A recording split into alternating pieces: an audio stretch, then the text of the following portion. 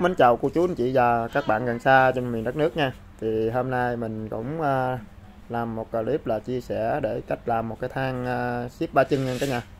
Thì cây thang ship ba chân này thì mình sẽ làm dùng là sắt hộp hợp 30 vuông.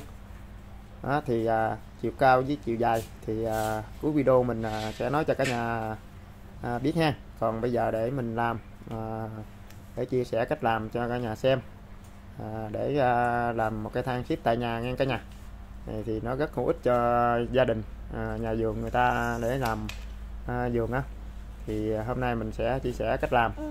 Rồi à, cả nhà xem à, thấy mà video mình có hay hữu ích nhớ đăng ký và chia sẻ chia sẻ và cho mình một like nha.